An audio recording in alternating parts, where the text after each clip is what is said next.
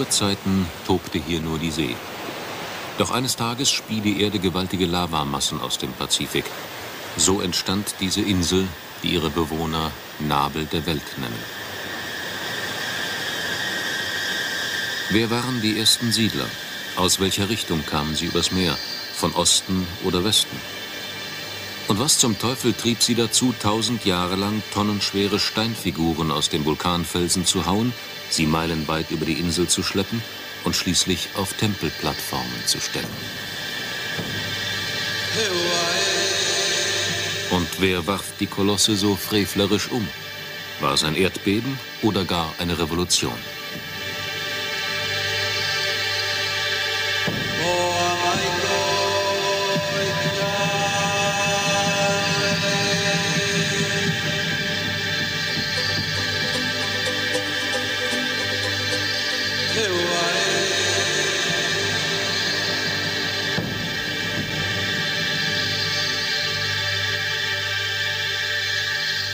Den Tagen des letzten Wintervollmonds feiern die Inselbewohner das Stammesfest Tapati.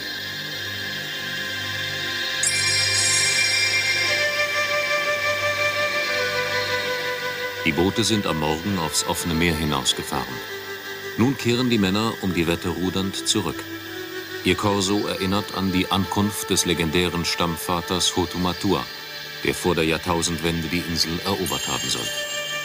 Stimmt die Sage, so war der polynesische König Hotumatua mit seiner Gemahlin Wakai nach verheerenden Stammeskriegen von den Marquesas in der Südsee geflohen und hatte nach langer Irrfahrt die Osterinsel Rapa Nui erreicht.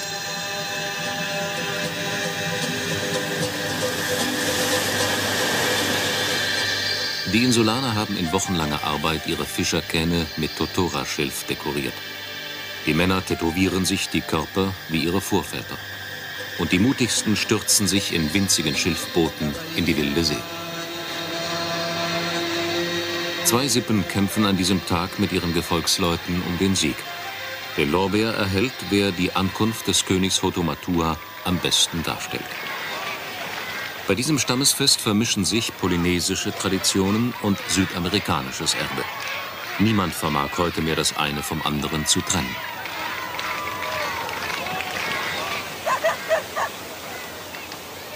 Die Osterinsel hat knapp 3000 Einwohner. Die meisten leben in Hangaroa, einem verträumten Nest, das nur dann und wann aus dem Schlaf erwacht, wenn das Flugzeug aus Santiago de Chile kommt. An einer der staubigen Dorfstraßen liegt die Außenstelle der Universität Chile, das Institut für Archäologie und Völkerkunde. Dort planen wir mit einem Team junger Wissenschaftler unsere Expedition durch die Insel. Manche Forscher sagen, die Osterinsel werde umso rätselhafter, je mehr man sich mit ihr befasse. Wie kommen wir ihrem Geheimnis auf die Spur? Ich schlage vor, zunächst die Rasterforschung abzuschließen. Wir haben bisher 80 Prozent der Inseloberfläche untersucht und 15.000 Funde registriert. In diesem Sommer will ich nun gemeinsam mit Roberto Isorieta und Lilian González an verschiedenen Orten graben. Wir wollen eine Höhle an der Ostküste erforschen. Und schließlich werden wir ein seltsames Steinoval an der Nordküste untersuchen. Unter dem Boden sind noch viele Geheimnisse verborgen los que están relacionados con el origen de la, de la cultura. Die Osterinsel liegt mitten im stillen Ozean, 3000 Meilen von Südamerika und 2000 von Tahiti entfernt. Waren ihre ersten Siedler Polynesier, die in Auslegerbooten übers Meer kamen? Oder waren es Indianer vor den Inkas, die mit Schilfflößen von der Küste Perus in die Weiten des Pazifik vorstießen? Diese These vertritt der Norweger Thor Heyerdahl, der 1947 mit seinem Floß Kontiki nach Polynesien gesegelt ist.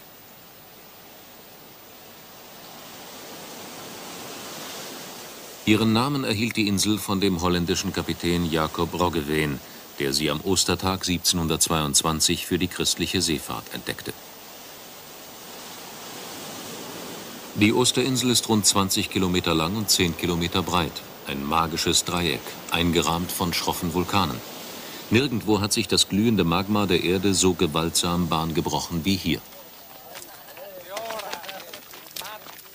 Die Vorbereitungen sind bald getroffen. Eines Morgens machen wir uns im Gefolge der chilenischen Wissenschaftler und ein paar einheimischer Helfer ins Inselinnere auf. Den Weg säumen immer wieder riesige umgestürzte Steinstatuen, Moais.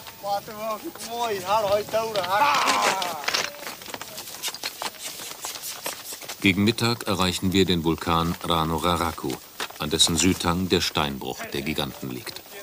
Dort warten Dutzende fertiger Moais auf ihren Transport, so als wären die Steinmetze eines Tages alle davongelaufen.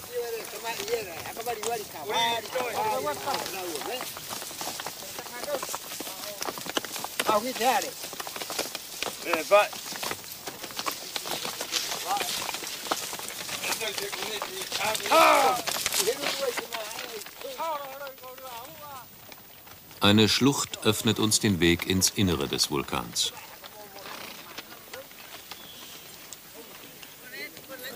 Der Ranuraraku ist seit Menschengedenken nicht mehr aktiv. Ein Freilichtmuseum der geologischen Geschichte dieser Insel.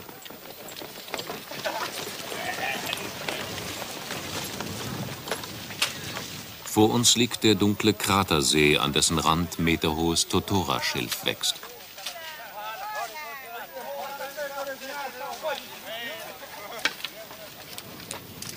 Auf den schwimmenden Rohrinseln sind Menschen bei der Arbeit. Sie schlagen Binsen, aus denen sie Boote flechten für das Stammesfest Tapati. Bei diesem Fest treten die einzelnen Sippen in Wettkämpfen gegeneinander an.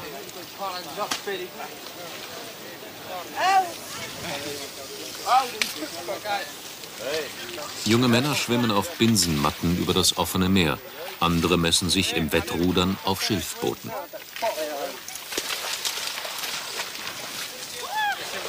Und am Ende wird die Tochter der siegreichen Sippe zur Inselkönigin gewählt. Die Kandidatinnen helfen eifrig mit, die Schilfgarben einzubringen.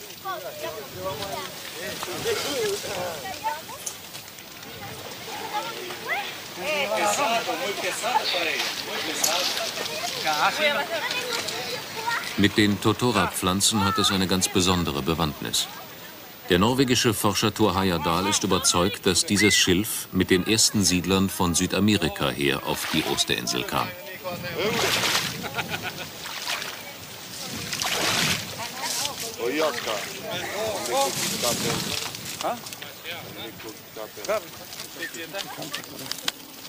Am Titicacasee in den bolivianischen Anden wächst das gleiche Rohr. Die Indios flechten heute wie vor 2000 Jahren Schwimmkörper für ihre Boote aus Totora-Schilf. Die Brüder Juan und José Limachi sind darin so geschickt, dass Thor Heyerdahl sie 1970 mit nach Nordafrika nahm. Dort bauten sie ihm mit Papyrus von den Quellen des Nils das Schilffloß Ra 2, mit dem der Norweger nach Westindien segelte und bewies, dass es lange vor Kolumbus möglich war, Amerika zu entdecken. Konnten da Indianer aus der Zeit vor den Inkas nicht auch mit ihren Schilfbooten von Peru bis zur Osterinsel gelangt sein? Am Titicacasee entstand etwa um 300 nach Christus die Kultur von Tiwanaku. Die kunstvollen Quader ihrer Tempel und die aus einem Block gehauenen Steinfiguren haben verblüffende Ähnlichkeit mit denen der Osterinsel. Ist diese Kultur um die Mitte des ersten Jahrtausends in die Südsee gelangt?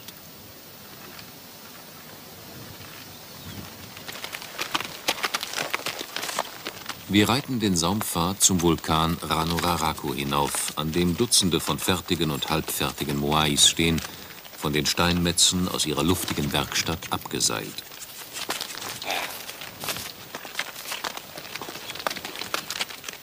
Am Fuß des Berges bekamen die Figuren den letzten Schliff. Auffällig sind die langen Ohren und die augenlosen Stirnpartien der steinernen Kolosse.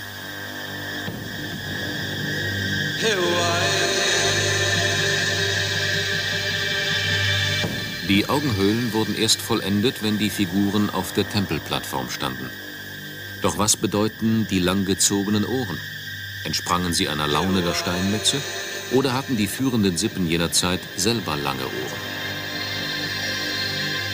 Diese beiden steinernen Brüder legte Thor Heyerdahl 1956 frei. Einer von ihnen trägt auf der Brust die Konturen einer Dreimastbark, wie sie weder in der Südsee noch in Südamerika bekannt war.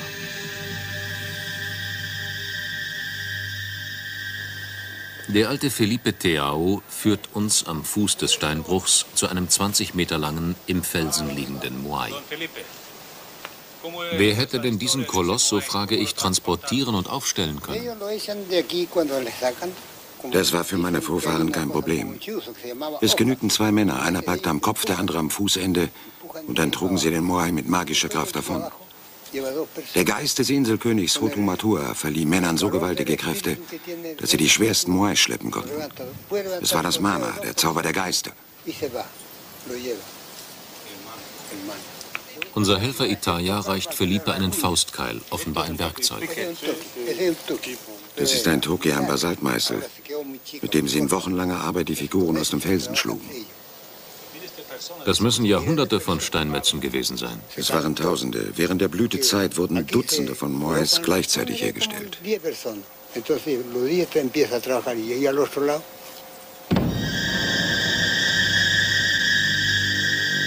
In der Werkstatt der Steinmetze liegen noch heute Hunderte von halbfertigen und gerade begonnenen Figuren. 394 zählten die chilenischen Wissenschaftler. Offenbar hat eine kleine Adelskaste von Langohren das übrige Inselvolk jahrhundertelang zur Fronarbeit getrieben.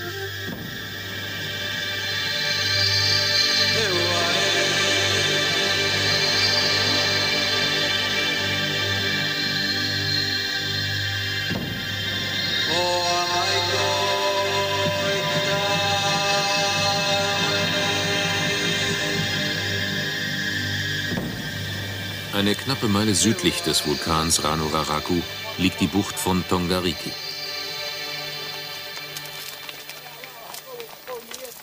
Eine natürliche Senke verläuft hier von einer Seite der Insel zur anderen. Östlich davon erhebt sich der Riesenvulkan Poike.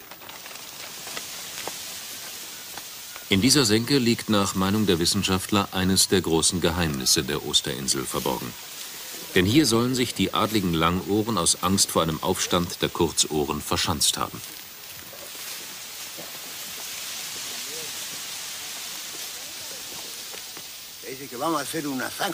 Die Langohren ließen hier nach der Überlieferung einen tiefen Wahlgraben ausheben. Er führte kilometerweit von der Südküste bis zur Nordküste der Insel. Den Graben füllten sie mit Reisig und Feuerholz. Sollten die Kurzohren angreifen, um die Festung der Langohren zu stürmen, so brauchte man nur das Holz anzünden und sie würden lebendig darin verbrennen. Die Langohren, die an den Hängen des Vulkans Poik lebten, fühlten sich hinter dem Wallgraben sicher. Aber eine Frau, die sich in der Gegend auskannte, zeigte den Kurzohren eines Nachts die Stelle, wo man den Graben gefahrlos durchqueren konnte. So machten sie es. Im Schutz der Dunkelheit schlichen sie in die Festung ihrer Unterdrücker, umzingelten sie und massakrierten sie alle. Nur drei der Langohren konnten sich retten. Wir machen Rast am Fuß des Polke. Die beiden Wissenschaftlerinnen beginnen zu graben. In einem Meter Tiefe stoßen Patricia Vargas und Lilian González auf überraschende Funde. Das ist die Höhlung einer dicken Baumwurzel, die beweist, dass es vor Jahrhunderten auf der Osterinsel große Bäume und wohl auch Wälder gab. Und sie finden eine Feuerstelle und Fundamentsteine von Häusern.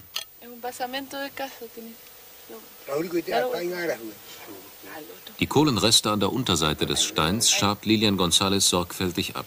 Wir werden sie später an der Universität Heidelberg mit Hilfe der Radiokarbonmessung auf ihr Alter untersuchen lassen und erfahren, dass die Feuerreste aus dem 11. Jahrhundert stammen.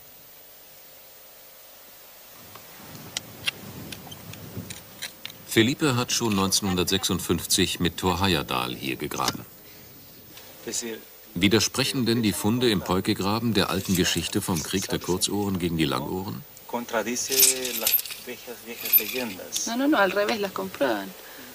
Im Gegenteil, sie beweisen den vollen Wahrheitsgehalt der Legenden.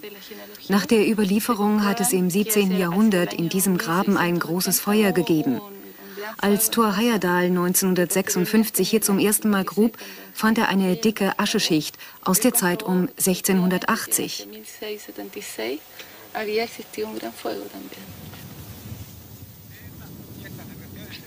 Wir reiten weiter zur Kuppe des Vulkans Poike. Auch hier oben, 300 Meter über dem Meer, finden wir immer wieder umgestürzte Moais. Dieser hier ist aus hartem Basalt und viele Tonnen schwer. Niemand weiß, wie er hierher kam. Gegen Abend erreichen wir ein Eukalyptuswäldchen, das die Inselbewohner in den 60er Jahren angelegt haben. Hier wollen wir campieren. Das Unterholz bietet Schutz. Es bewahrt unsere leichten Zelte davor, vom Wind über die nahe Steilküste geweht zu werden. Unsere einheimischen Helfer machen ein Lagerfeuer und bringen sich mit Liedern in Stimmung.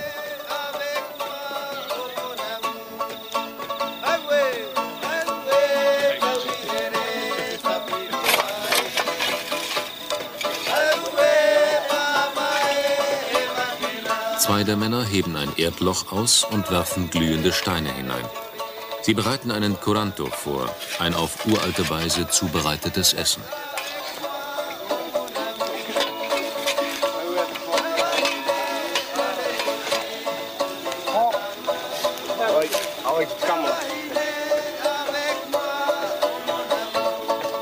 Heißen Steine werden mit Bananenblättern bedeckt. Darauf legen sie Kumare, Süßkartoffeln und Fleisch und werfen eine weitere Schicht Bananenblätter und schließlich Erde darüber. In einer Stunde ist der Curanto gar und wird aus dem Erdofen geholt.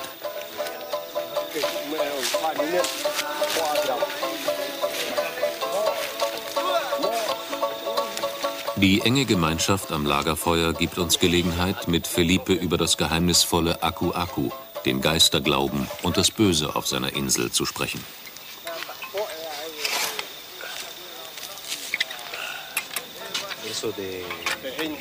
Es gab ja immer wieder Kriege und Blutvergießen. Ein Zeichen dafür, dass die bösen Geister sehr mächtig sind.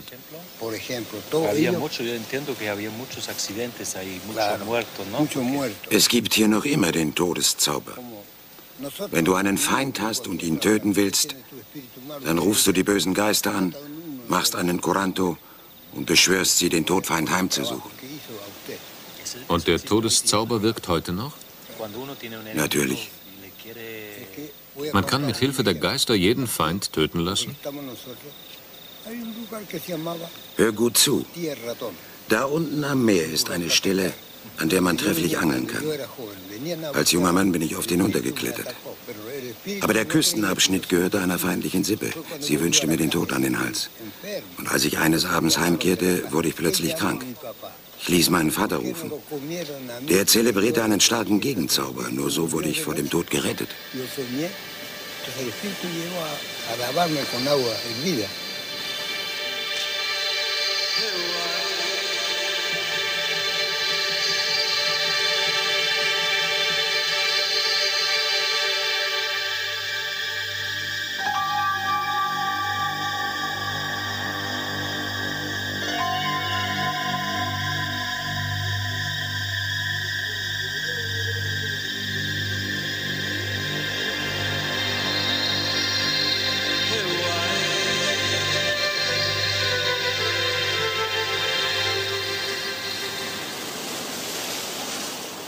Am nächsten Morgen verlassen wir zeitig das Camp und reiten an der Steilküste des Vulkans entlang.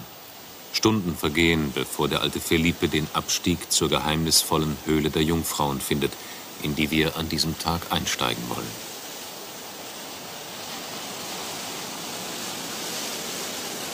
Die Osterinsel ist reich an Vulkangrotten.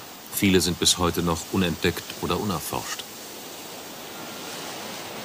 Als Mitte des 19. Jahrhunderts peruanische Sklavenjäger mit ihren Schiffen landeten, flüchteten die Inselbewohner in die unterirdischen Verstecke. Dort waren sie vor den Spürhunden sicher.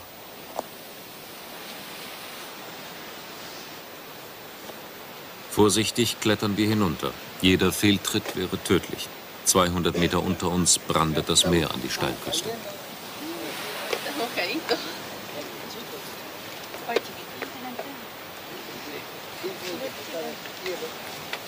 Der Eingang zur Höhle ist so eng, dass man sich auf dem Bauch robbend hindurchzwängen muss. Felipe kriecht voraus, Beschwörungsformeln murmelnd. Und das hat seinen Grund. In den Höhlen hausen die Geister der Toten. Wehe dem, der ihren Fluch auf sich zieht. Cito folgt dem Alten. Dann kommen wir.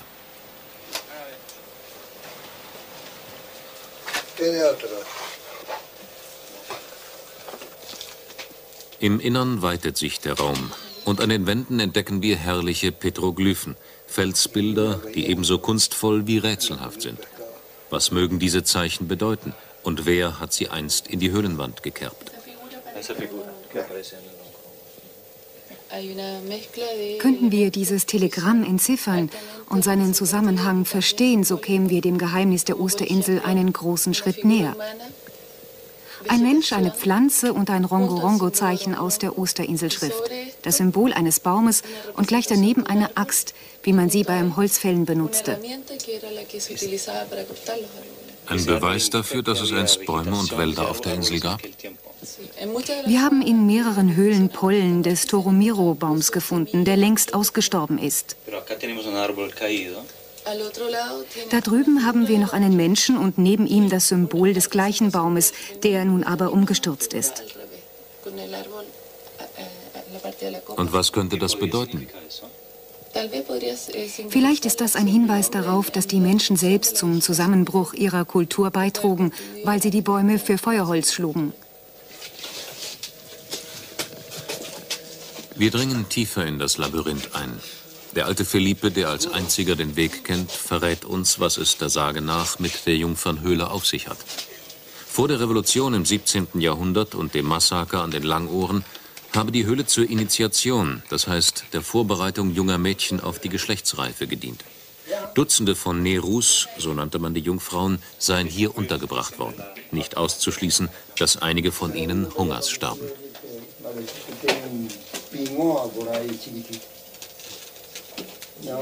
In einer Nische entdecken wir Menschenknochen. Und aus der Höhlenwand starren uns finstere Fratzen an. Dem gleichen magischen Blick werden wir später wieder begegnen. Und wir werden sein Geheimnis erfahren.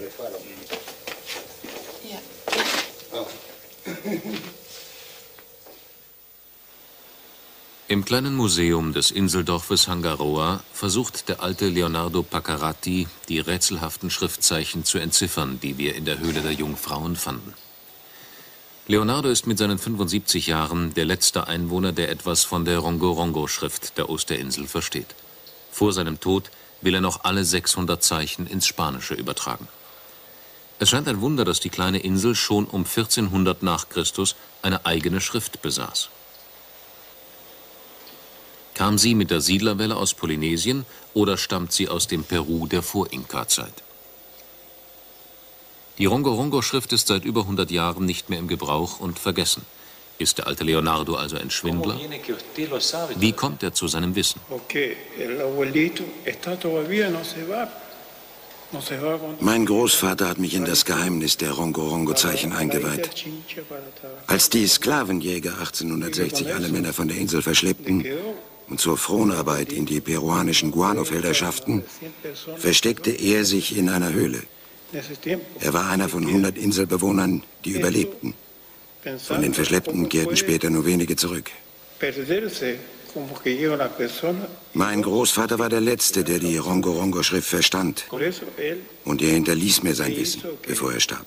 Alles, was er mir sagte, hat sich mir fest ins Gedächtnis eingeprägt.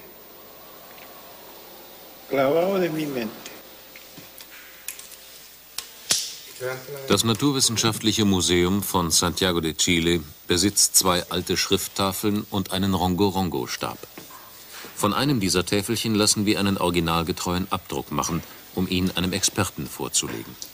Ob uns die Entzifferung der Zeichen dem Geheimnis der Osterinsel näher bringt? Zwei Dutzend Rongo-Rongo-Tafeln sind über die Museen der ganzen Welt verstreut. Wir wollen die Kopie mit nach Deutschland nehmen und sie dem Tübinger Osterinselforscher Thomas Bartel vorlegen. Professor Bartel arbeitet seit 40 Jahren an der Entzifferung der Rongo-Rongo-Schrift. Jetzt scheint ihm der Durchbruch gelungen. Also in den 50er Jahren bestand die Aufgabe zunächst darin, die Texte, die auf viele Museen über die Erde verteilt waren, zu sammeln und zu analysieren. Es war möglich festzustellen, wie viele Zeichenkomponenten benutzt wurden, was es an Parallelstellen gab, also wie die formalen Zusammenhänge waren. Der Lösungsschritt selbst gelangt dadurch, dass Gesänge aus den 70er Jahren des vorigen Jahrhunderts, Gesänge von einem Osterinsulaner, korreliert in Zusammenhang gebracht werden konnten mit einigen kleinen Abschnitten auf den Tafeln. Und dieser Verknüpfung folgend wurde es möglich, in der Arbeit der 50er und 60er Jahre kürzere Passagen mehr oder minder sinngemäß verstehen zu lernen. Und zwar nicht auf einem der enthaltenen Täfelchen, sondern auf einem einmaligen Objekt. Das, was ich hier habe, ist die Wiedergabe eines Stabes aus Toromiro-Holz, aus dem harten Holz, in dem Zeichen eingekerbt sind. Ein Stab, der genau dem entspricht, was der Ausdruck Kohau Rongo Rongo, beschrifteter Stab, besagt. Die Täfelchen, die wir hier haben, sind also viel spätere Formen der Schriftwiedergabe. Das ist die ursprüngliche Beschaffenheit. Wir können uns heute ein Bild davon machen, dass dieser Santiago-Stab das Wissen von Jenseits, also eskatologisches Wissen für die Schicksale der Verstorbenen enthielt. Alles, was an Gefahren im Jenseits passieren konnte, das war hier durch Gesänge und besondere Zaubersprüche aufgefangen. Und auf diese Art und Weise lässt sich rekonstruieren, wie die Jenseitsvorstellungen der Leute von Rapa Nui beschaffen waren. Es war das Geheimwissen des Königs, das hier auf seinem Zauberstab angebracht war. Das Geheimwissen des Königs, sein Zauberstab. Die kleine Insel wird immer mysteriöser. Wir verlassen den Vulkan und reiten hinunter zur Nordküste. Stimmt Professor Bartels Theorie, dann hätten die Langohren das Inselvolk jahrhundertelang mit Zauber und Magie beherrscht, nicht mit Waffen und Soldaten.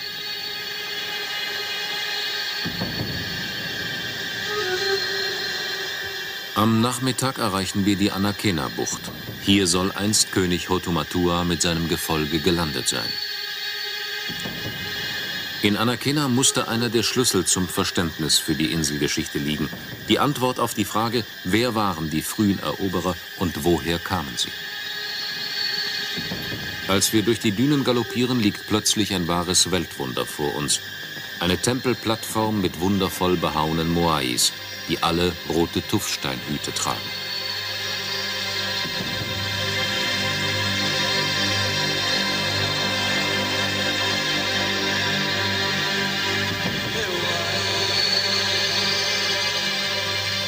Die Statuen waren, wie uns der alte Felipe erzählt, in den 70er Jahren noch umgestürzt und von meterhohem Sand bedeckt.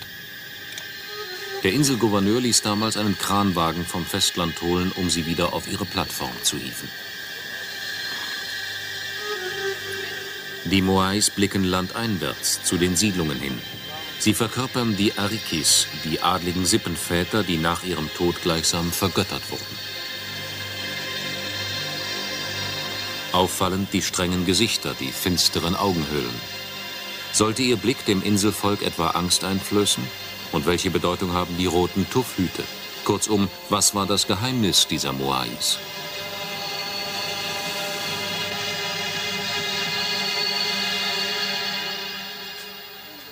Bei seinem letzten Besuch auf der Osterinsel 1988 ließ Thor Heyerdahl im Fundament des Tempels von Anakena graben. Was er fand, erstaunte die Fachwelt.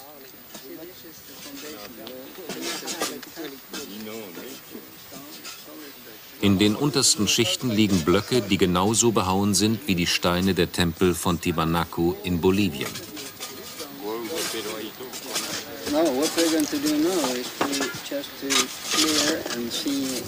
Torhayadal schloss daraus, dass es drei Einwanderungswellen gegeben haben muss. Eine frühe südamerikanische, die der Steinmetze, eine mittlere Welle aus Polynesien und schließlich eine dritte, die im 13. Jahrhundert wieder von Peru herkam.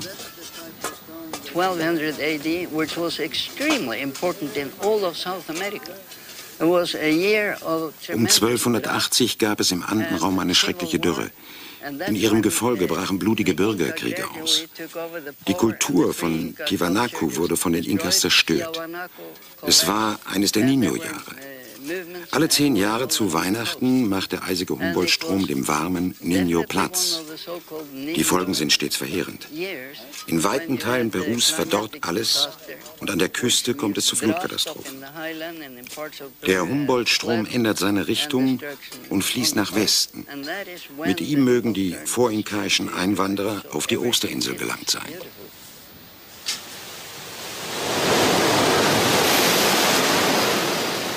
Hatte der Pazifik verirrte Seefahrer in Wellen von 500 Jahren an diese Küste verschlagen? Oder wussten die frühen Peruaner und Polynesier von der Existenz dieser Insel, dieser Festung der Sturmgötter?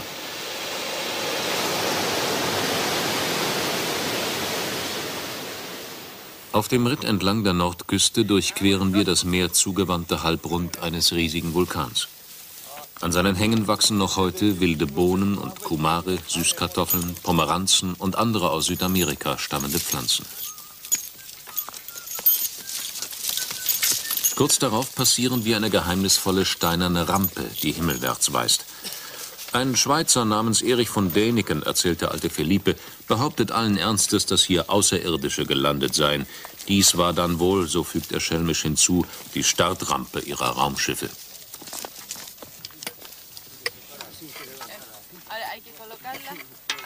An einem Oval machen wir Halt. Was mag darunter verborgen sein? Cito löst mit dem Pickel behutsam die Steine aus dem Boden. Felipe schaut mit sorgenvoller Miene zu. Ob das die Geister des Ortes mögen? Ein Archäologe war Jahre zuvor bei einer Grabung an einem seltsamen Fieber erkrankt. Auch Sito und Itaya sind unruhig. Das Aku-Aku, die Zauberkraft der Geister, beherrscht diesen Ort. Die Spannung wächst, als wir auf eine große Steinplatte stoßen.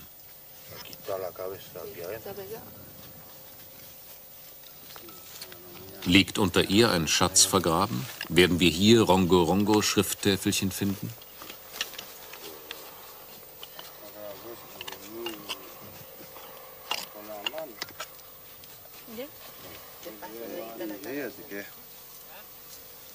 Ja.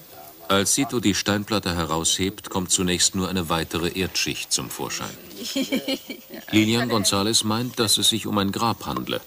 Und tatsächlich, ihre Kollegin Patricia Vargas legt wenig später ein Skelett frei mit einem riesigen Schädel. Wer war der Tote und warum hat man ihn auf diese ungewöhnliche Weise bestattet? Dieser Tote stammt offenbar aus einer Epoche, als die Zeit der Moais schon vorüber war. Denn sein Schädel steckt in der Höhlung eines großen Tuffsteins, der einem Moai als Hut gedient hatte. Das Skelett ist gleichsam die Statue. Aus welchem Jahrhundert könnte es sein? Der Tote wurde wohl um 1700 begraben, vor der Ankunft der ersten Missionare. Offenbar hat ein Teil des Brauchtums die Revolution überlebt. Ja, denn zur Blütezeit der Inselkultur stellte man ja die Moais zur Verkörperung der Ahnen auf und setzte die Toten unter der Plattform bei. Dieser Mann war offenbar sehr bedeutend. Deshalb gab man ihm den Tuffhut eines Moais mit ins Grab und steckte ihn mit dem Kopf voraus in die Öffnung des Vulkansteins.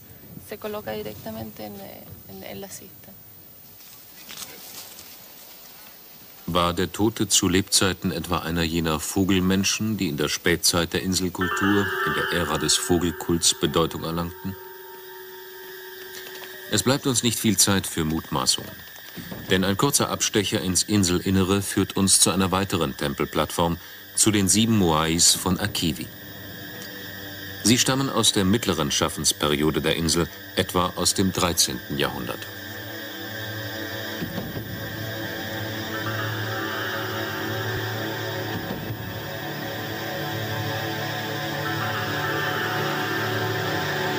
Warum blicken diese Moais im Gegensatz zu allen anderen zum Meer hin? Wie hat man die sieben Meter hohen Kolosse bewegt? Sind sie dank übernatürlicher Kräfte von allein hierher spaziert? Auf einer naheliegenden Vulkankuppe bereiten sich an diesem Tag die Männer der Insel auf einen seltsamen Brauch vor. Das Traditionsfest Tapati ist im Gange und sie bemalen sich die Körper nach alter Sitte, wie ihre Vorväter beim Vogelmenschenritual. Diese Tradition ist polynesisch und hat nichts mit dem südamerikanischen Erbe zu tun. Die Ornamente und Symbole waren in alter Zeit Ausdruck der sozialen Stellung einer Person.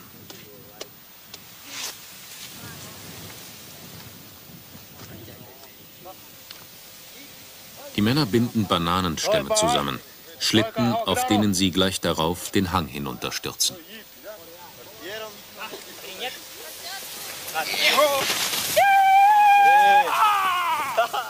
Haka Pei, so nennen sie diesen Wettkampf, bei dem der Schnellste den Sieg davonträgt.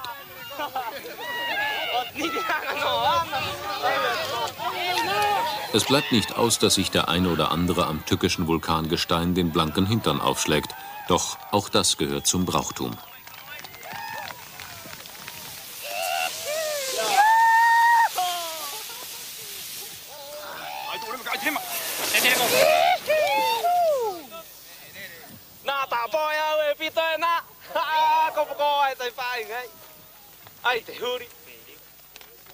Am späten Nachmittag erreichen wir das Ziel unserer Expedition, den Vulkan Rano Kau am Westende der Osterinsel.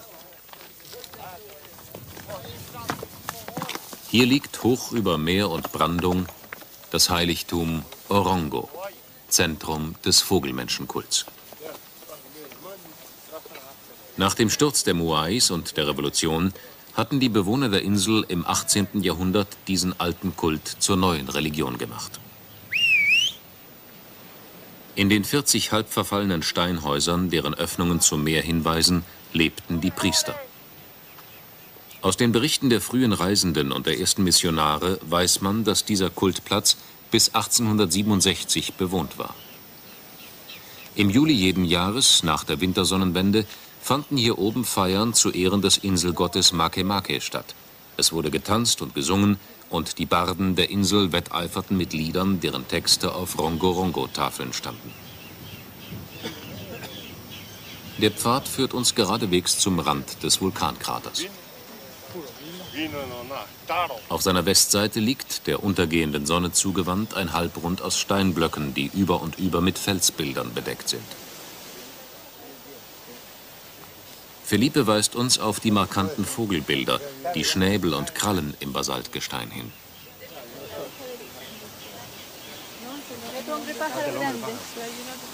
Vom Sitz der Vogelmenschen kletterten einmal im Jahr die kühnsten Männer die Klippen hinunter und schwammen zu den kleinen Felseninseln hinaus, auf denen im August die Vögel brüten.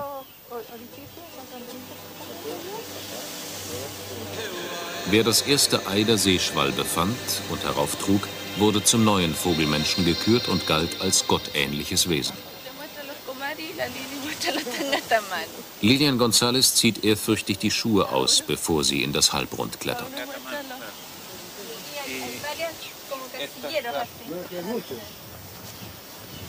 Warum hatte das Inselvolk die alten Götter gestürzt und die Moais und ihre Tempelplattformen zerstört?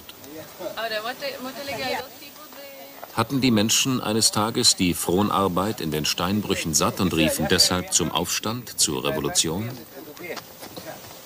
Und war der neue Kult der Vogelmenschen aus der Sehnsucht geboren, diese einsame Sklaveninsel gleichsam auf Vogelschwingen zu verlassen?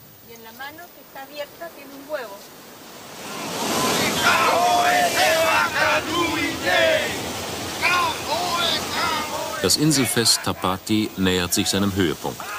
Die Boote fahren in den Hafen von Hangaroa ein. Die Ruderer und Mannschaften feuern sich gegenseitig mit Schlachtgesängen an, während sie mit ihren Nussschalen über die meterhohe Brandung setzen.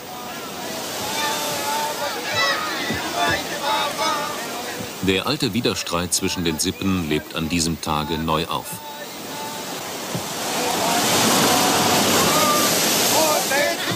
Den Sieg erringt am Ende jene Mannschaft, die das traditionsreiche Brauchtum am besten verkörpert. Die schönsten Lieder und Gesänge, die vollkommenste Tätowierung der Körper und nicht zuletzt die anmutigste Darstellung von Wakai, der legendären Gemahlin des ersten Königs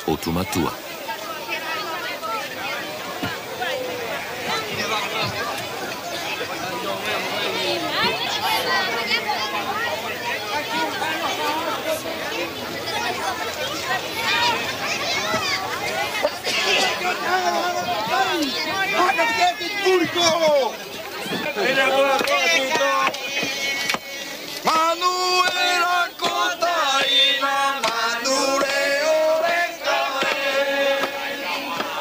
Die neue Inselkönigin wird von ihrem Gefolge im Triumphzug durch Hangaroa getragen.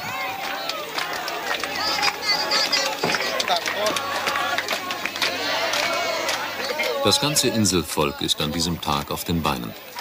Doch es ist fraglich, ob das Fest wirklich alter Sitte entspricht. Denn als die peruanischen Sklavenjäger vor 130 Jahren die Männer verschleppten, raubten sie der Osterinsel auch ihre Tradition. Unter den tausend Versklavten waren die Sippenältesten, die Priester und Lehrer, all jene, die das überlieferte Kulturgut pflegten, die Lieder, die Schrift und die Legenden. Sie nahmen ihr Wissen mit in den Tod.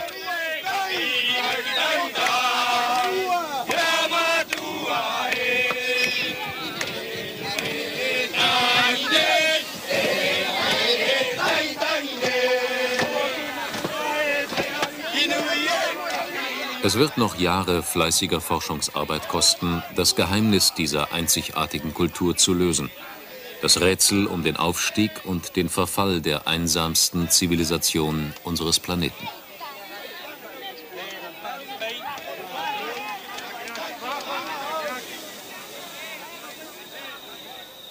Eine unserer Fragen findet an diesem Abend eine überraschende Antwort.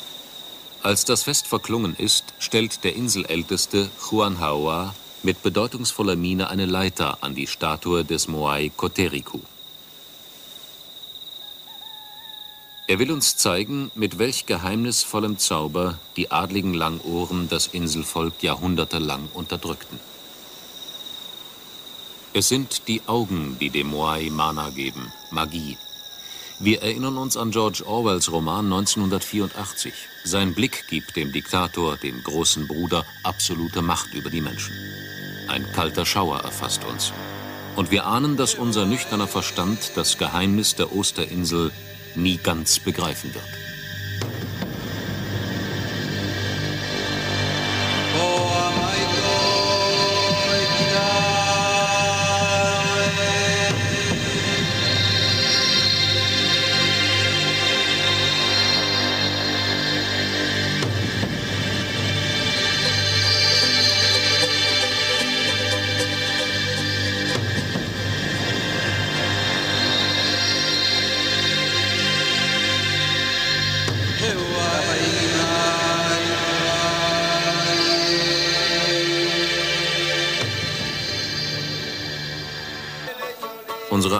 Einheimischen Helfer machen ein Lagerfeuer und bringen sich mit Liedern in Stimmung.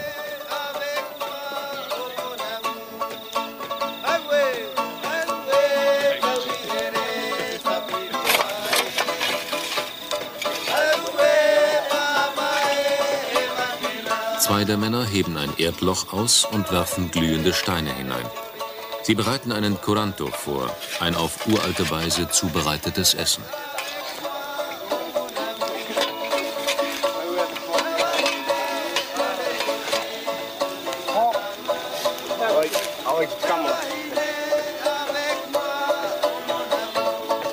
Die heißen Steine werden mit Bananenblättern bedeckt, darauf legen sie Kumare, Süßkartoffeln und Fleisch und werfen eine weitere Schicht Bananenblätter und schließlich Erde darüber. In einer Stunde ist der Curanto gar und wird aus dem Erdofen geholt.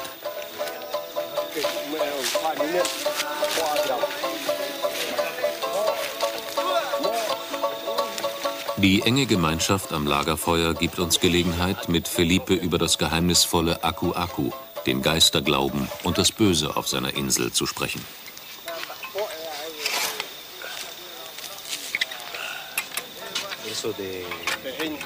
Es gab ja immer wieder Kriege und Blutvergießen. Ein Zeichen dafür, dass die bösen Geister sehr mächtig sind.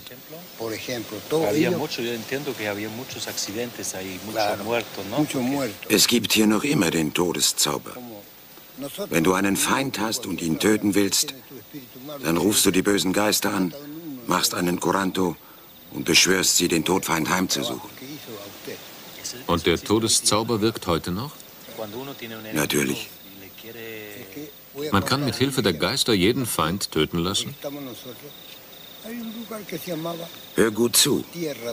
Da unten am Meer ist eine Stelle, an der man trefflich angeln kann. Als junger Mann bin ich oft hinuntergeklettert. Aber der Küstenabschnitt gehörte einer feindlichen Sippe. Sie wünschte mir den Tod an den Hals. Und als ich eines Abends heimkehrte, wurde ich plötzlich krank. Ich ließ meinen Vater rufen. Der zelebrierte einen starken Gegenzauber. Nur so wurde ich vor dem Tod gerettet.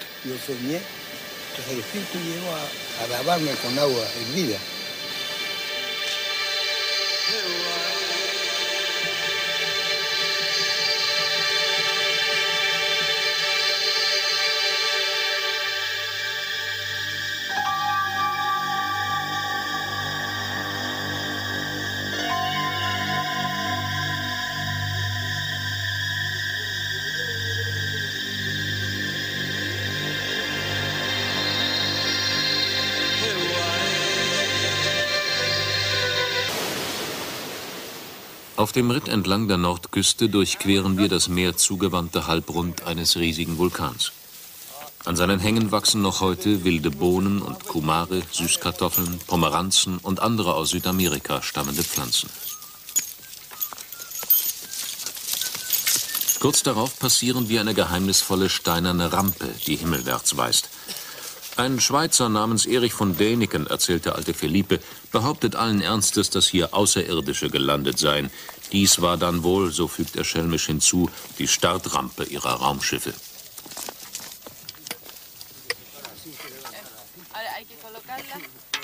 An einem Oval machen wir Halt. Was mag darunter verborgen sein? Cito löst mit dem Pickel behutsam die Steine aus dem Boden. Felipe schaut mit sorgenvoller Miene zu. Ob das die Geister des Ortes mögen? Ein Archäologe war Jahre zuvor bei einer Grabung an einem seltsamen Fieber erkrankt. Auch Sito und Itaya sind unruhig. Das Aku-Aku, die Zauberkraft der Geister, beherrscht diesen Ort. Die Spannung wächst, als wir auf eine große Steinplatte stoßen.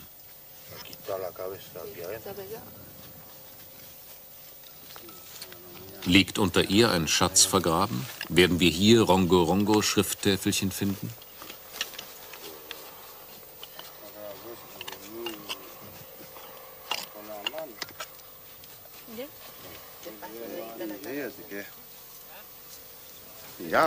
Als Sito die Steinplatte heraushebt, kommt zunächst nur eine weitere Erdschicht zum Vorschein. Lilian González meint, dass es sich um ein Grab handle. Und tatsächlich, Ihre Kollegin Patricia Vargas legt wenig später ein Skelett frei mit einem riesigen Schädel. Wer war der Tote und warum hat man ihn auf diese ungewöhnliche Weise bestattet? Dieser Tote stammt offenbar aus einer Epoche, als die Zeit der Moais schon vorüber war. Denn sein Schädel steckt in der Höhlung eines großen Tuffsteins, der einem Moai als Hut gedient hatte. Das Skelett ist gleichsam die Statue. Aus welchem Jahrhundert könnte es sein? Der Tote wurde wohl um 1700 begraben, vor der Ankunft der ersten Missionare. Offenbar hat ein Teil des Brauchtums die Revolution überlebt. Ja, denn zur Blütezeit der Inselkultur stellte man ja die Moais zur Verkörperung der Ahnen auf und setzte die Toten unter der Plattform bei. Dieser Mann war offenbar sehr bedeutend, deshalb gab man ihm den Tuffhut eines Moais mit ins Grab und steckte ihn mit dem Kopf voraus in die Öffnung des Vulkansteins. Holz aus dem harten Holz, in dem Zeichen eingekerbt sind. Ein Stab, der genau dem entspricht, was der Ausdruck Kohau Rongo Rongo, beschrifteter Stab, besagt. Die Täfelchen, die wir hier haben, sind also viel spätere Formen der Schriftwiedergabe. Das ist die ursprüngliche Beschaffenheit. Wir können uns heute ein Bild davon machen, dass dieser Santiago-Stab das Wissen von Jenseits, also eskatologisches Wissen für die Schicksale der Verstorbenen enthielt. Alles, was an Gefahren im Jenseits passieren konnte, das war hier durch Gesänge und besondere Zaubersprüche aufgefangen und auf diese Art und Weise lässt sich rekonstruieren, wie die Jenseitsvorstellungen der Leute von Rapa Nui beschaffen waren. Es war das Geheimwissen des Königs, das hier auf seinem Zauberstab angebracht war. Das Geheimwissen des Königs, sein Zauberstab. Die kleine Insel wird immer mysteriöser. Wir verlassen den Vulkan und reiten hinunter zur Nordküste. Stimmt Professor Bartels Theorie, dann hätten die Langohren das Inselvolk jahrhundertelang mit Zauber und Magie beherrscht, nicht mit Waffen und Soldaten.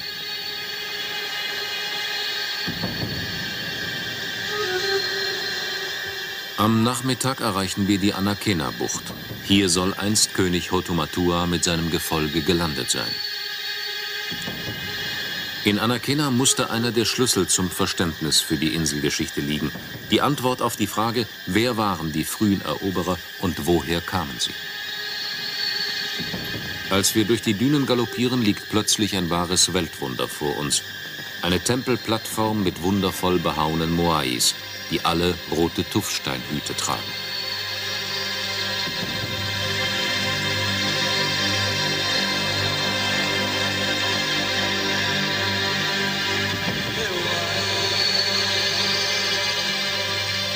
Die Statuen waren, wie uns der alte Felipe erzählt, in den 70er Jahren noch umgestürzt und von meterhohem Sand bedeckt.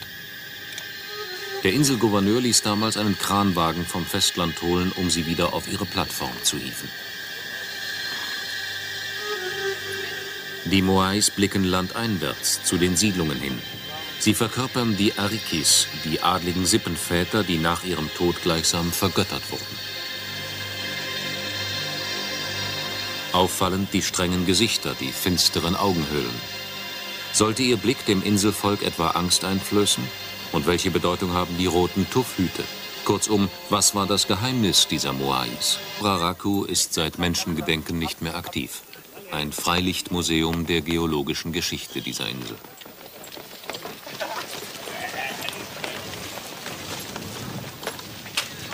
Vor uns liegt der dunkle Kratersee, an dessen Rand meterhohes Totora-Schilf wächst.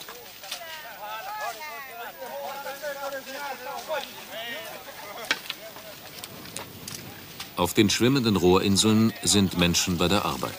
Sie schlagen Binsen, aus denen sie Boote flechten für das Stammesfest Tapati. Bei diesem Fest treten die einzelnen Sippen in Wettkämpfen gegeneinander an.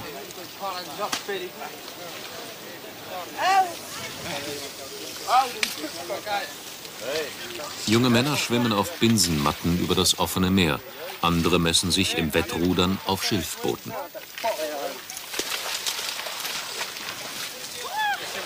Und am Ende wird die Tochter der siegreichen Sippe zur Inselkönigin gewählt.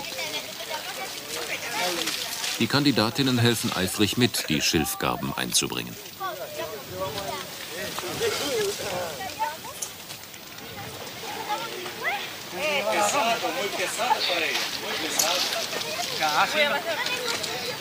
Mit den Totora-Pflanzen hat es eine ganz besondere Bewandtnis. Der norwegische Forscher Thor Heyerdahl ist überzeugt, dass dieses Schilf mit den ersten Siedlern von Südamerika her auf die Osterinsel kam.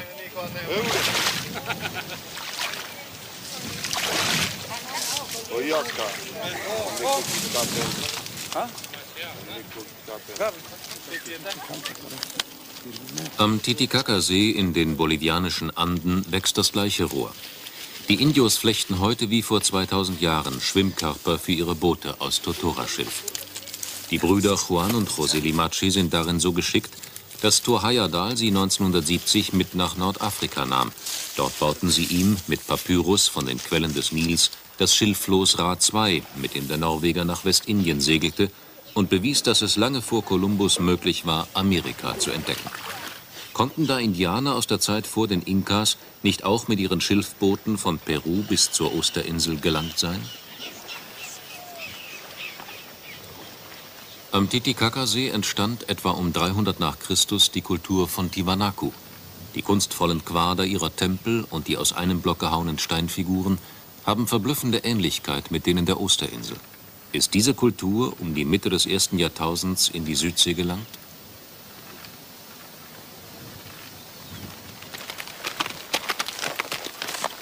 Wir reiten den Saumpfad zum Vulkan Rano Raraku hinauf, an dem Dutzende von fertigen und halbfertigen Moais stehen, von den Steinmetzen aus ihrer luftigen Werkstatt abgeseilt. Ein Archäologe war Jahre zuvor bei einer Grabung an einem seltsamen Fieber erkrankt. Auch Sito und Itaya sind unruhig. Das Aku-Aku, die Zauberkraft der Geister, beherrscht diesen Ort. Die Spannung wächst, als wir auf eine große Steinplatte stoßen.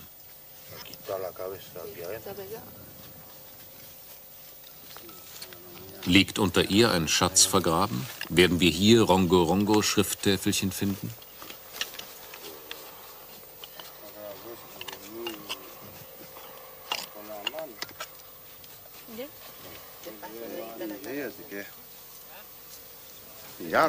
Als Sito die Steinplatte heraushebt, kommt zunächst nur eine weitere Erdschicht zum Vorschein.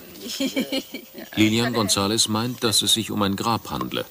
Und tatsächlich, ihre Kollegin Patricia Vargas legt wenig später ein Skelett frei mit einem riesigen Schädel. Wer war der Tote und warum hat man ihn auf diese ungewöhnliche Weise bestattet? Dieser Tote stammt offenbar aus einer Epoche, als die Zeit der Moais schon vorüber war. Denn sein Schädel steckt in der Höhlung eines großen Tuffsteins, der einem Moai als Hut gedient hatte. Das Skelett ist gleichsam die Statue. Aus welchem Jahrhundert könnte es sein? Der Tote wurde wohl um 1700 begraben, vor der Ankunft der ersten Missionare. Offenbar hat ein Teil des Brauchtums die Revolution überlebt. Ja, denn zur Blütezeit der Inselkultur stellte man ja die Moais zur Verkörperung der Ahnen auf und setzte die Toten unter der Plattform bei. Dieser Mann war offenbar sehr bedeutend. Deshalb gab man ihm den Tuffhut eines Moais mit ins Grab und steckte ihn mit dem Kopf voraus in die Öffnung des Vulkansteins.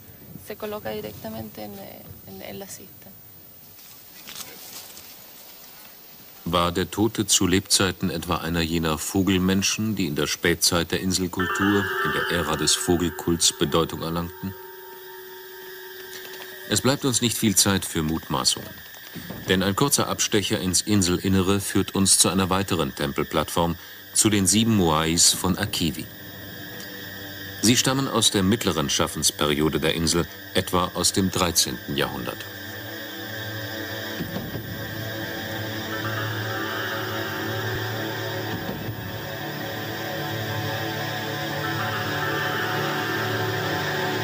Warum blicken diese Moais im Gegensatz zu allen anderen zum Meer hin? Wie hat man die sieben Meter hohen Kolosse bewegt? Sind sie dank übernatürlicher Kräfte von allein hierher spaziert? Auf einer naheliegenden Vulkankuppe bereiten sich an diesem Tag die Männer der Insel auf. Die Kultur von Tiwanaku wurde von den Inkas zerstört. Es war eines der Nino-Jahre.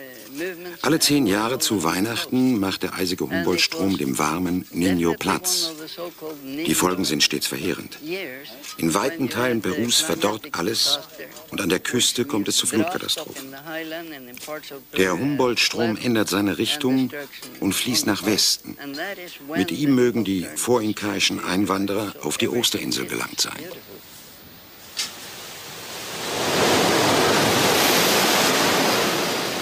Hatte der Pazifik verirrte Seefahrer in Wellen von 500 Jahren an diese Küste verschlagen? Oder wussten die frühen Peruaner und Polynesier von der Existenz dieser Insel, dieser Festung der Sturmgötter?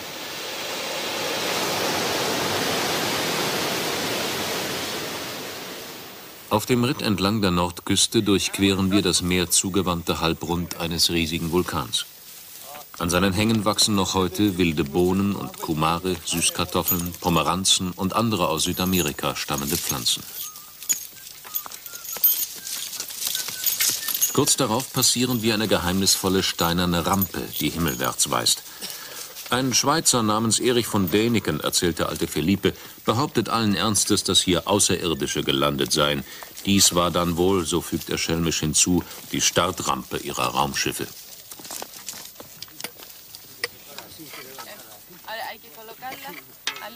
Einem Oval machen wir Halt. Was mag darunter verborgen sein? Cito löst mit dem Pickel behutsam die Steine aus dem Boden. Felipe schaut mit sorgenvoller Miene zu. Ob das die Geister des Ortes mögen? Ein Archäologe war Jahre zuvor bei einer Grabung an einem seltsamen Fieber erkrankt. Auch Sito und die sind unruhig. Das Aku-Aku, die Zauberkraft der Geister, beherrscht diesen Ort. Die Spannung wächst, als wir auf eine große Steinplatte stoßen.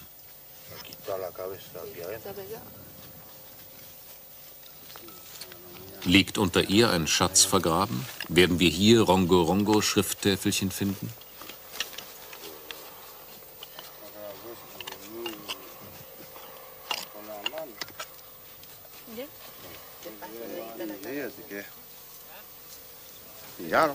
Als Sito die Steinplatte heraushebt, kommt zunächst nur eine weitere Erdschicht zum Vorschein.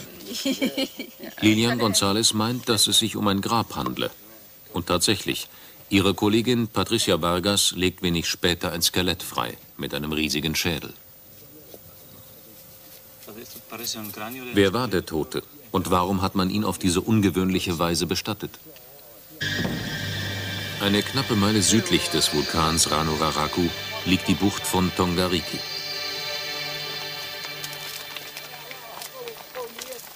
Eine natürliche Senke verläuft hier von einer Seite der Insel zur anderen. Östlich davon erhebt sich der Riesenvulkan Poike. In dieser Senke liegt nach Meinung der Wissenschaftler eines der großen Geheimnisse der Osterinsel verborgen. Denn hier sollen sich die adligen Langohren aus Angst vor einem Aufstand der Kurzohren verschanzt haben.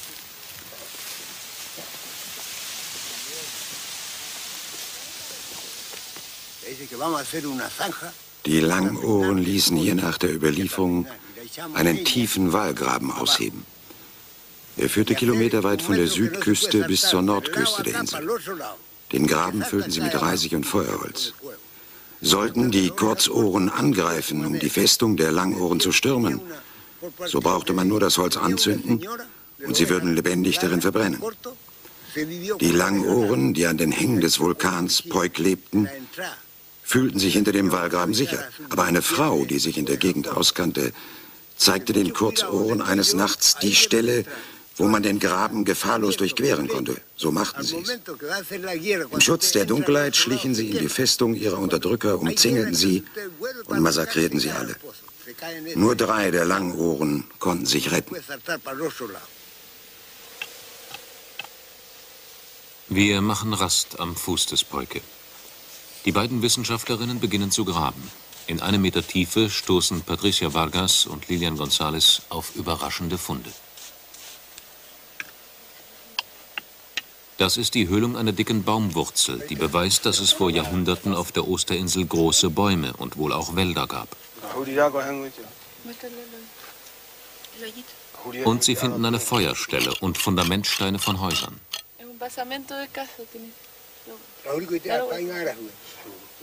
Die Kohlenreste an der Unterseite des Steins schabt Lilian González sorgfältig ab.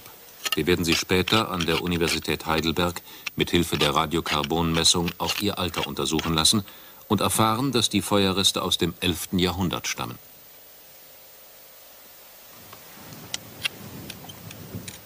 Felipe hat schon 1956 mit Thor Heyerdahl hier gegraben.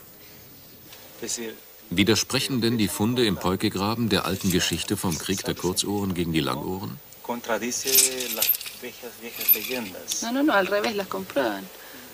Im Gegenteil, sie beweisen den vollen Wahrheitsgehalt der Legenden. Nach der Überlieferung hat es im 17. Jahrhundert in diesem Graben ein großes Feuer gegeben. Als Thor Heyerdahl 1956 hier zum ersten Mal grub hatte, das Skelett ist gleichsam die Statue. Aus welchem Jahrhundert könnte es sein? Der Tote wurde wohl um 1700 begraben, vor der Ankunft der ersten Missionare. Offenbar hat ein Teil des Brauchtums die Revolution überlebt. Ja, denn zur Blütezeit der Inselkultur stellte man ja die Moais zur Verkörperung der Ahnen auf und setzte die Toten unter der Plattform bei. Dieser Mann war offenbar sehr bedeutend, deshalb gab man ihm den Tuffhut eines Moais mit ins Grab und steckte ihn mit dem Kopf voraus in die Öffnung des Vulkansteins.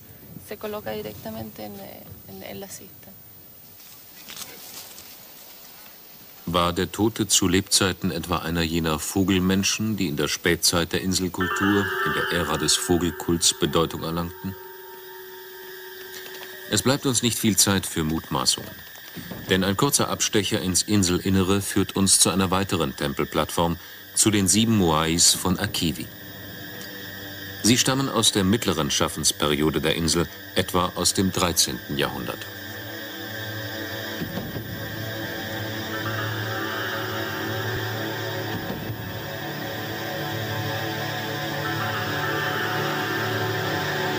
Warum blicken diese Moais im Gegensatz zu allen anderen zum Meer hin?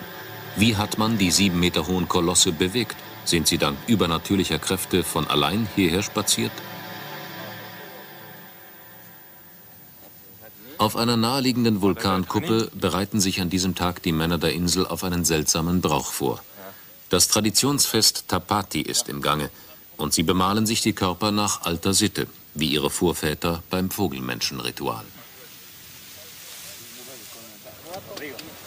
Diese Tradition ist polynesisch und hat nichts mit dem südamerikanischen Erbe zu tun. Die Ornamente und Symbole waren in alter Zeit Ausdruck der sozialen Stellung einer Person.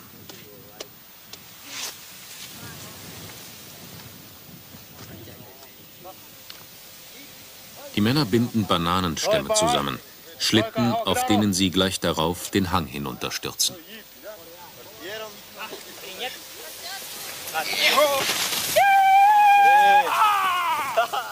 Haka Pei, so nennen sie diesen Wettkampf, bei dem der Schnellste den Sieg davonträgt.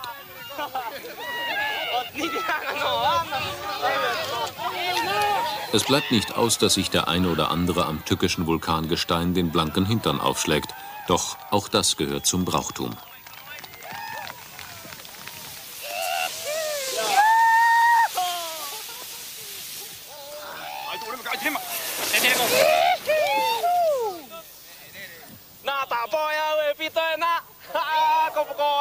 Das Dreieck, eingerahmt von schroffen Vulkanen. Nirgendwo hat sich das glühende Magma der Erde so gewaltsam Bahn gebrochen wie hier. Die Vorbereitungen sind bald getroffen. Eines Morgens machen wir uns im Gefolge der chilenischen Wissenschaftler und ein paar einheimischer Helfer ins Inselinnere auf. Den Weg säumen immer wieder riesige umgestürzte Steinstatuen, Moais.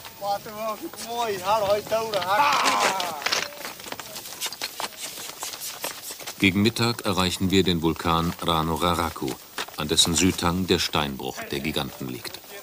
Dort warten Dutzende fertiger Moais auf ihren Transport, so als wären die Steinmetze eines Tages alle davongelaufen.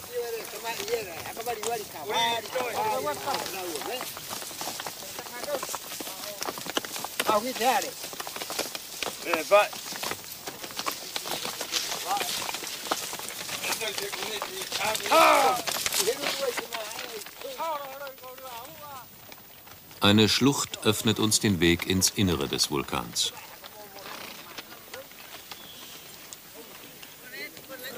Der Ranuraraku ist seit Menschengedenken nicht mehr aktiv. Ein Freilichtmuseum der geologischen Geschichte dieser Insel.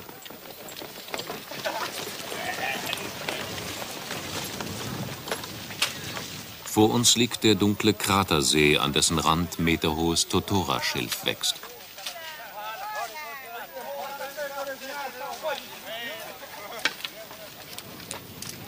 Auf den schwimmenden Rohrinseln sind Menschen bei der Arbeit.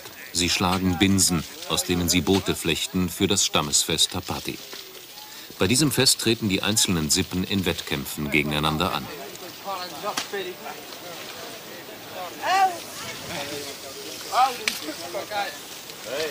Junge Männer schwimmen auf Binsenmatten über das offene Meer. Andere messen sich im Wettrudern auf Schilfbooten.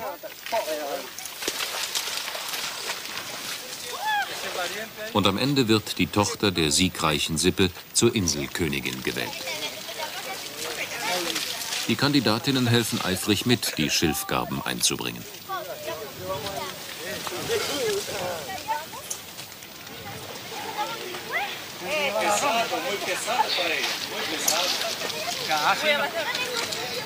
Mit den Totora-Pflanzen hat es eine ganz besondere Bewandtnis.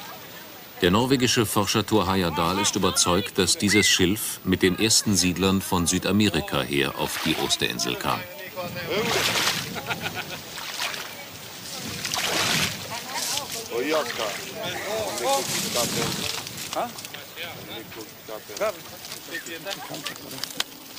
Am Titicaca der Nino-Jahre. Alle zehn Jahre zu Weihnachten macht der eisige Humboldt-Strom dem warmen Nino Platz. Die Folgen sind stets verheerend. In weiten Teilen Perus verdorrt alles und an der Küste kommt es zu Flutkatastrophen. Der Humboldt-Strom ändert seine Richtung und fließt nach Westen. Mit ihm mögen die vorinkaischen Einwanderer auf die Osterinsel gelangt sein.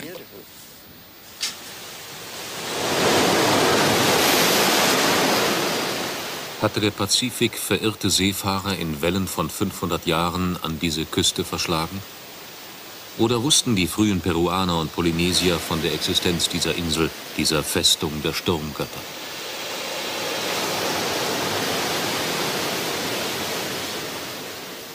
Auf dem Ritt entlang der Nordküste durchqueren wir das Meer zugewandte Halbrund eines riesigen Vulkans. An seinen Hängen wachsen noch heute wilde Bohnen und Kumare, Süßkartoffeln, Pomeranzen und andere aus Südamerika stammende Pflanzen. Kurz darauf passieren wir eine geheimnisvolle steinerne Rampe, die himmelwärts weist.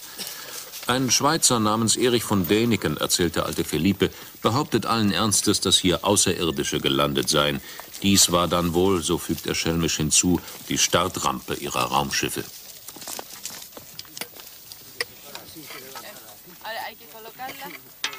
An einem Oval machen wir Halt. Was mag darunter verborgen sein? Cito löst mit dem Pickel behutsam die Steine aus dem Boden. Felipe schaut mit sorgenvoller Miene zu. Ob das die Geister des Ortes mögen? Ein Archäologe war Jahre zuvor bei einer Grabung an einem seltsamen Fieber erkrankt. Auch Cito und Itaya sind unruhig. Das Aku-Aku, die Zauberkraft der Geister, beherrscht diesen Ort. Die Spannung wächst, als wir auf eine große Steinplatte stoßen.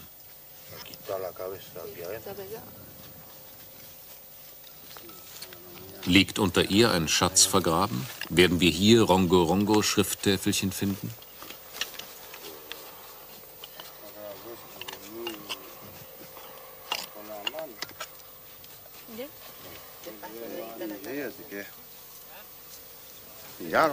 Als Sito die Steinplatte heraushebt, kommt zunächst nur eine weitere Erdschicht zum Vorschein. Lilian González meint, dass es sich um ein Grab handle. Und tatsächlich, ihre Kollegin Patricia Vargas legt wenig später ein Skelett frei mit einem riesigen Schädel. Wer war der Tote und warum hat man ihn auf diese ungewöhnliche Weise bestattet? Dieser Tote stammt offenbar aus einer Epoche,